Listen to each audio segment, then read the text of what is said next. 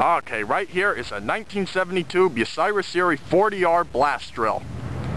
The 40R was first introduced by Bucyrus Erie in 1954, following the success of the larger 50R blast drill.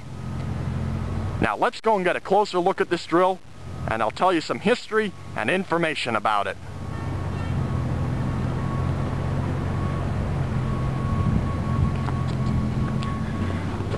The 40R featured three stabilizer jacks, two in the front and one in the rear, and this is what will stabilize and level the machine off before it begins drilling.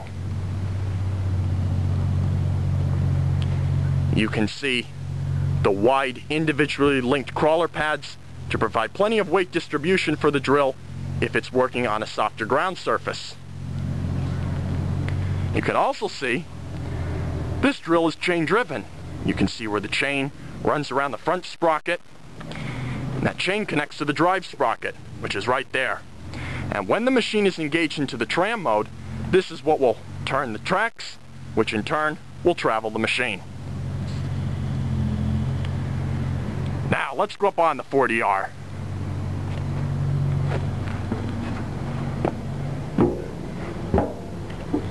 On the front of the drill, you can see the two big propane tanks for the cab heater. The 40R was designed for drilling holes ranging anywhere from 6 and 3 quarter to 9 inches in diameter. And here you can see one of the big steels. And just like its larger brother, the 50R, the 40R featured a rack and pinion hoist and pull down system, which applied an increase in thrust load to the bit. This design feature was adopted from the company's cable shovels. Here you can see the cable reel for the maintenance hook, and from here you can get a good view looking up at the mast.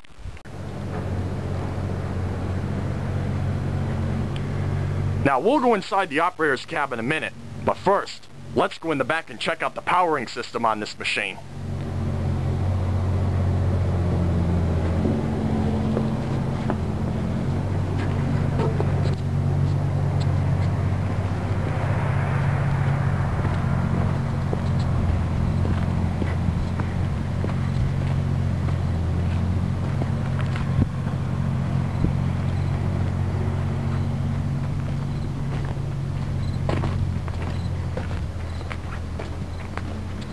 Okay, if you look on the back of the drill, you can see the third stabilizer jack. And from under here, you can get a pretty good view of the lower works on this drill.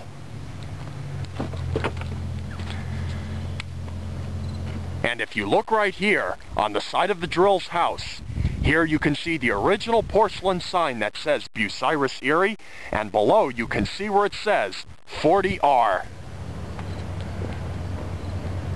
And probably the one feature that I like about this drill the most is the fact that after all these years, this drill is still in its original Bucyrus Erie colors, which is pretty cool. Now let's go up inside the house.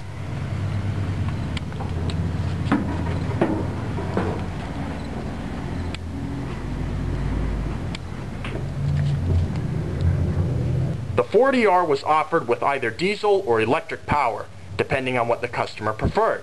As you can see, this particular 40R is diesel powered. The engine that you see in the back here is a Cummins NT855 that produces 300 horsepower for the drill.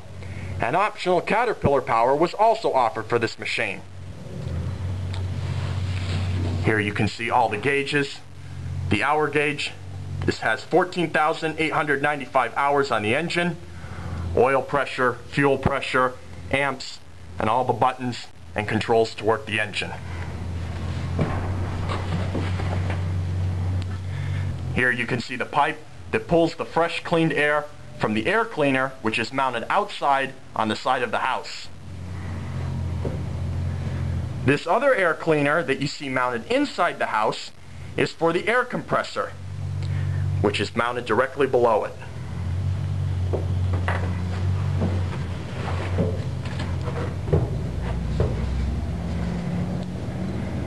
And right here is the oil cooler.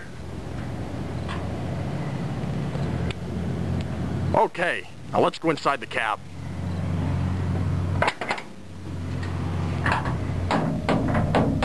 Here you can get a good overview of the operator station inside the 40R.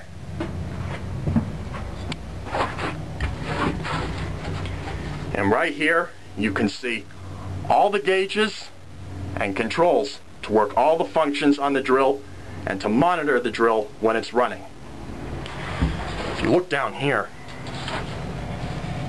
here you can see the metal plate. You can see where it says Bucyrus Erie, the model 40R, the machine's number, and on this plate below are all the patent numbers for the machine.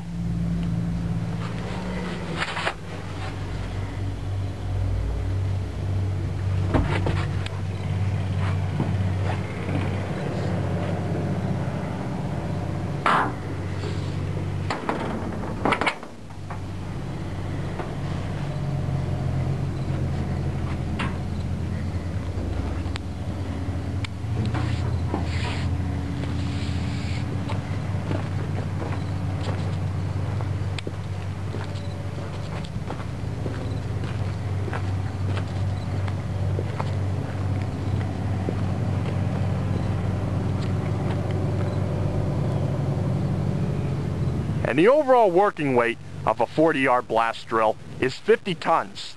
These drills were manufactured up until 1984 when production ended, and in total about 280 units were produced. But there she is, a classic 1972 Bucyrus Erie 40R.